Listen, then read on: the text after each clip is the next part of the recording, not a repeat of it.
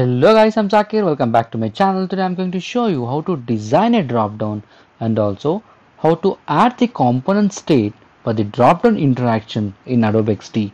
Let's start today's tutorial. Let's drag this rectangle to draw the button onto the artboard. Give a width of 360 and also add the height of 80 px. Let's align this button into the center of the artboard. Let's zoom it onto the artboard let's change the fill color to a lighter gray color. Perfect. And let's remove the border. Add 8 px of border radius. Perfect. Let's drag this text tool to add the label. So I'll add drop down has been label let's make it capitalize. Align this text with the button. And also give 32 px of padding towards the left of the text. Perfect. Go to assets.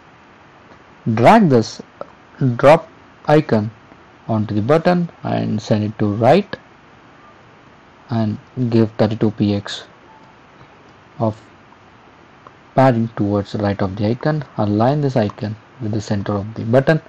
Cool. Now we have uh, our button now. Let's add the drop down panel Let's duplicate our button by pressing Ctrl D on your Windows and Command D on your Mac. Perfect. And let's drag this panel to 210 of height. Cool. And let's delete this icon. Go to repeat grid. Uh, repeat your labels to three times. Maintain 24 px of space in between the labels I mean uh, items list items ungroup them rename the text to list item 1 copy this text go to second list item make it item 2 and also item 3 perfect. Now let's group our button with the panel by control G and here we have to send this the bottom panel uh, behind the button if you click on right if you right click on the panel you'll find the arrange option. In that you can find send to back option. Perfect. Let's group the button and also the drop down panel. Now let's go to component state. Click on the component. You will find the default state here. If you click on this plus icon you will find a new state. And let's add a closed state perfect. In close state I want to close this panel by moving on the top of the button. Cool. Now we have to uh, reduce the height of the bottom panel. So this is how it works. Perfect. When you click on the default state you can find the open panel. When you click on the close close state you will find the closed drop down button. Okay. Now when I click on default state my icon should should be face towards top. And let's do that.